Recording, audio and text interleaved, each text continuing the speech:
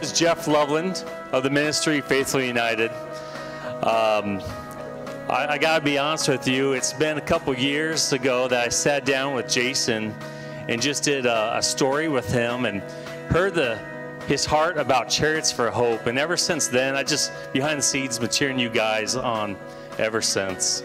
Uh, Faithfully United, our heart is to equip, send, and unite the body of Christ for the works of ministry. What that means is we want to see the body of Christ come together. Because when we come together as one body in Christ, there's just more that gets done. We can reach people that are not being reached. We can share about ministries such as this that people need to know about. We just need people to come together under the banner and under the name Jesus Christ. so uh, today we are excited to be here. Um, one of the things about Chariots for Hope is you guys know how to party. You know how to celebrate.